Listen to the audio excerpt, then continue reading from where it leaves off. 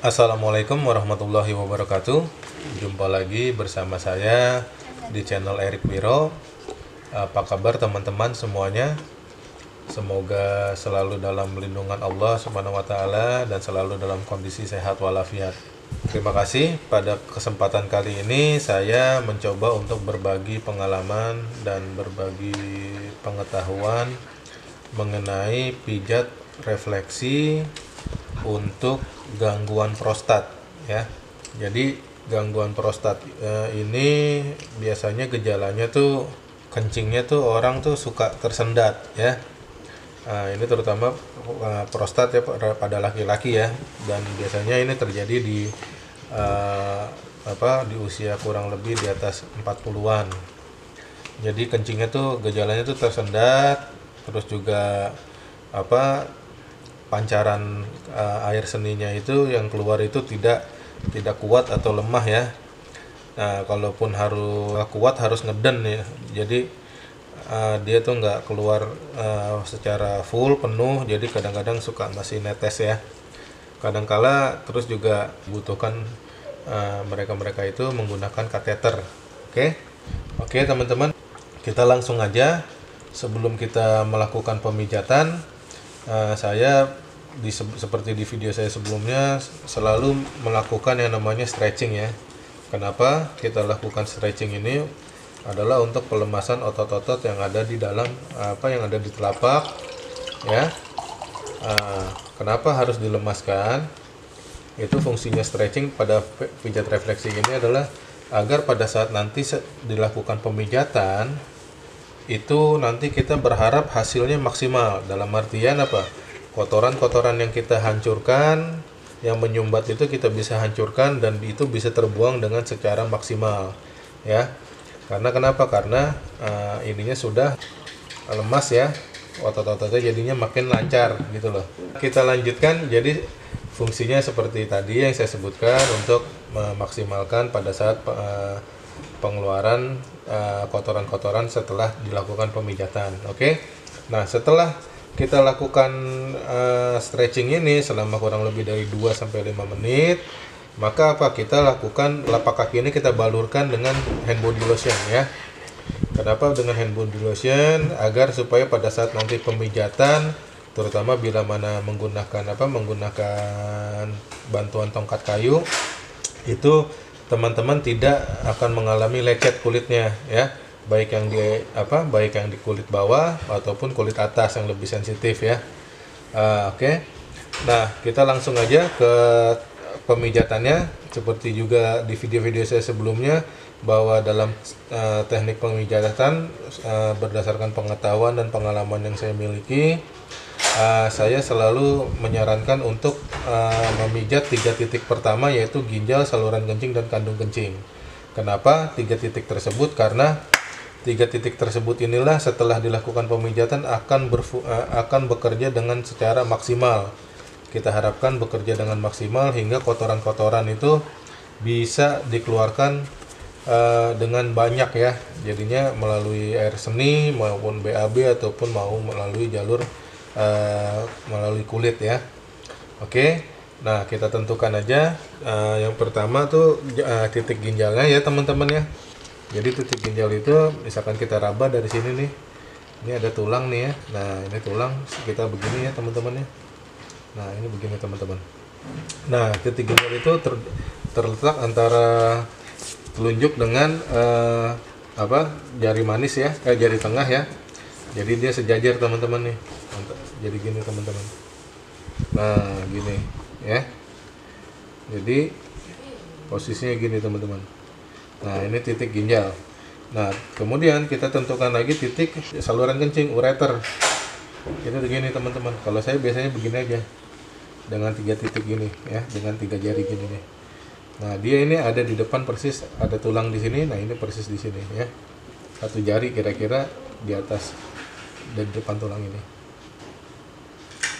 Nah ini. Dan kemudian titik yang ketiga adalah kandung kencing dia sejajar dengan antara per, antara kulit atas dengan kulit telapak ya. Nah dia di sini. Nah untuk lebih jelasnya mengenai titik-titik refleksi ini teman-teman bisa uh, download gambar yang sudah saya apa saya sudah sertakan di link deskripsinya ya. Jadi teman-teman nanti bisa memahami uh, area-area titik refleksi. Oke? Okay? uh, nah setelah kita sudah tentukan tiga titik ini maka kita langsung kita pijat aja. Tetapi sebelum memijat selalu gunakan setiap titik-titik refleksi yang akan kita pijat itu dikasih apa hand body lotion ya. Bisa dikasih hand body lotion bisa dikasih minyak kelapa bisa juga minyak olive oil atau minyak urut. Nah cara mijatnya bisa seperti ini dengan tangan kiri atau dengan kanan ya. Atau bisa juga dengan seperti ini teman-teman ya. Atau bisa begini teman-teman ya atau bisa juga menggunakan alat bantuan alat pijat tongkat pijat ya baik yang tumpul maupun yang lancip gitu ya. Jadi nanti ada fungsinya masing-masing. Nah biasakan kita sudah lakukan pemijatan apa sudah lakukan uh, uh, kasih hand bodinya kita pijat. Titiknya stabil ya teman-teman ya. Tekanannya pun juga stabil teman-teman. Tekanannya kalau uh, pengalaman saya uh, kurang lebih 1 sampai 2 kilo. Jadi menggunakan apa kita biar tahu guna teman-teman ke timbangan aja teman-teman pijat dengan jari atau dengan tongkat kayu. Jadi teman-teman bisa me, apa me, mempunyai feeling oh tekanan satu kilo segini tekanan 2 kilo segini. Dan itu bisa diaplikasikan ke pada saat memijat. Jadi pada saat memijat pun juga jangan lari-larian dari titik yang sudah ditentukan. Uh, tekanannya pun juga ini tekanannya 1-2 kilo kemudian lama memijatnya itu uh, kurang lebih 5 sampai 10 menit. Uh, jadi masing-masing titik itu minimal 5 menit ya kalau uh, berdasarkan pengalaman saya agar efektif. Dan ini bisa diputar atau bisa diiniin. Dan sedikit-sedikit gunakan selalu hand body lotion teman-teman. Nah berikutnya juga apa uh, apa kandung kencing apa saluran ini saluran kencing atau ureter juga di sini juga kita pijat yang namanya apa? Uh, kandung kencing teman-teman ya. Kandung kencing ini juga berpengaruh. Karena kenapa? Karena dia nanti yang akan membantu uh, prostat itu bisa uh, meredakan sakit yang terjadi di pada prostat ya. Jadi ini pijat semuanya uh, saran saya kurang lebih 10 menit ya. Oke teman-teman. Nah setelah itu yang harus kita pijat itu adalah bagian kepala Kenapa kalau bagian kepala? Karena semua saraf ini berpusat di sini. Dan semua segala aktivitas itu perintahnya dari otak, ya. Jadi yang kita pijat uh, untuk pijat refleksi untuk gangguan prostat ini uh, daerah kepala itu ya adalah kelenjar bawah otak, ya. Nah, kurang lebih di sini teman-teman. Nah, fungsinya kelenjar bawah otak ini dia ini banyak sekali teman-teman bawah otak ini. Jadi mengatasi semua uh, kendali ya. Jadi kendali semua organ tubuh yang ada di tubuh kita tuh dikendalikan oleh kelenjar bawah otak. Dan juga dia mengatasi apa mengatasi uh, kelumpuhan terus juga untuk lemah sawat impotensi terus juga apa membantu uh, melancarkan atau uh, orang yang ingin mendapat keturunan, terus juga yang pasti mengatur sel dan pertumbuhan tubuh dan juga mengendalikan jantung dia teman-teman, mengatur kelenjar tiroid, sistem metabolisme ya, kemudian kelenjar reproduksi teman-teman. Jadi kelenjar bawah otak ini fungsinya sangat banyak sekali dan tekanannya selalu gunakan uh, tekanannya 1 sampai 2 kilo. Jangan lupa selalu gunakan hand body lotion ya. Nah, uh, kemudian durasinya 5 sampai 10 menit. Oke. Kita pijat begini. Ya. Oke, setelah kita pijat daerah kepala ini, maka kita pijat lagi daerah yang namanya sistem metabolisme. Nah, sistem metabolisme yang harus kita pijat yaitu adalah daerah ini teman-teman. Adrenal, amandel. Nah, seperti itu ya. Tapi kita ke amandel dulu. Nah, titik amandel itu adanya di sini teman-teman. Dia yang mengatur untuk nyeri ya teman-teman ya. Jadi kita pijat. Di sini ada dua titik amandel ya teman-teman. Karena dia menetralisir racun-racun yang ada di dalam tubuh yang berkaitan di mana racunnya itu kadang-kadang menumpuk di daerah prostat teman-teman ya dan menekan prostat biasanya. Jadi di sini juga dia uh, ada kaitannya Nah, kemudian yang kita pijat juga adalah uh, daerah kelenjar adrenal ya dan paratiroid. Nah, jadi kita pijat dulu kelenjar ininya adrenal ya. Kelenjar adrenal itu di sini persis ada di atas ginjal, teman-teman. Karena dia kalau uh, or, apa menempel di bagian ginjal bagian atas, teman-teman. Jadi adrenal itu banyak fungsinya, teman-teman. Dia itu untuk apa? sebagai yang pasti terutama tuh untuk pelumas oli ya pelumas oli jantung ya. Nah, jadi otot-otot jantung itu pada saat dia bekerja nah yang melumasi itu adalah adrenal. Dan kemudian dia juga apa menambah gula terus juga yang pasti juga mengatur tekanan darah ya. Jangan lupa selalu gunakan hand body lotion teman-teman ya. Tekanannya 1 sampai 2 kilo kemudian juga apa 5 sampai 10 menit. Dan juga dia ini menambah produksi hormon seksual ya. Jadi fungsinya banyak nih teman-teman. Nah kotoran-kotoran yang akan kita buang itu juga kalau tekanan darahnya itu bagus uh, maka uh, apa gampang dan mudah dikeluarkan. Nah kemudian setelah ini kita ke, ke kelenjar apa paratiroid ya kelenjar paratiroid itu adanya di sini teman-teman jadi kalau kita lihat di sini nih ada ada sendi ya, ini sendi yang di jempol nih tulang pertama, sendi pertama, ini sendi kedua. Nah ini sendi kedua ini dekat sini teman-teman kita. Nah, posisinya di sini teman-teman.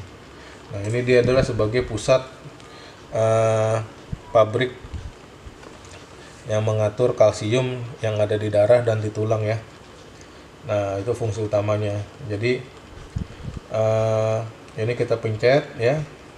Dengan keras pijatnya 5 sampai 10 menit 1 sampai 2 kilo. Dan kemudian selalu gunakan hand body lotion. Setiap ini kering kita gunakan hand tambahin lagi hand body supaya tidak lecet teman-teman. Oke. Nah lakukan hal tersebut 5 sampai 10 menit ya teman-teman ya. Kemudian kita lakukan lagi teman-teman pijat yaitu kelenjar limpa teman-teman ya sistem limpa refleksi limpa Nah itu limpa itu adanya di di bawah jantung teman-teman. Ya kalau kita lihat di gambar itu ada di bawahnya jantung agak ke bawah sedikit ya di bawah ginjal ya. Ini posisinya kurang lebih di sini teman-teman. Nah ini kalau di sini ginjal eh, apa jantung ya teman-teman ya ini gede. Nah ini limpa di sini teman-teman ya itu. Kita pijat limpa. Dia yang akan membantu untuk mengeluarkan kotoran-kotoran ya teman-teman ya di tubuh kita nih. Dan juga bila mana terjadi infeksi atau peradangan di tubuh kita maka limpa ini berfungsi sebagai bila mana ada infeksi dia akan mengeluarkan zat-zat yang atau sel darah putih untuk melawan virus ya. Baik itu kuman untuk kanker atau tumor dan juga apa dia melawan uh, untuk mengatasi panas dingin masuk angin ya. Dan dia sebagai gudang darah bila mana kita ada uh, pendarahan di dalam di dalam apa di dalam tubuh kita. Oke? Okay? nah setelah ini uh, kita pijat untuk gangguan prostat ini adalah daerah getah bening ya teman-teman ya dan prostat ya gitu ya getah bening prostat dan penis nah kita beralih ke penisnya dulu Nah, karena ini kita pijat refleksi untuk penis dan apa uh, apa pijat refleksi untuk gangguan prostat, maka ini berkaitan dengan penis. Jadi penis itu persis ada di antara ini, teman-teman. Jadi ini di sendi pinggul. Antara sendi pinggul ini ada di sini. Ini panjangnya kayak begini, teman-teman. Gitu ya. Nah, ini kita pijat arahnya ke atas. Ya, kurang lebih 5 sampai 10 menit, 1 sampai 2 kilo gunakan selalu hand body lotion. Jadi kalau misalkan kita pijat nih persis ada di tengah nih. Jadi ini ada di bawah tulang dari mulai bawah sini tulang nah ini sampai ke atas. Nah kemudian kelenjar prostat atau rahim kalau bagi perempuan itu posisinya adanya di sini teman-teman nah inilah yang jadi biang keroknya di sini nih teman-teman kalau misalkan itu Nah, kita pijat di sini ya. Ini pijatnya selalu gunakan hand body karena kenapa kulit bagian atas ini dia lebih cenderung kering di apa? Satu lebih cenderung kering dan kemudian dia lebih apa cenderung sensitif dibandingkan kulit yang di bawah telapak. Nah, pada saat kita memijat selalu gunakan hand body dan pijatannya arahnya ke atas ya. Kita kita geser ke atas.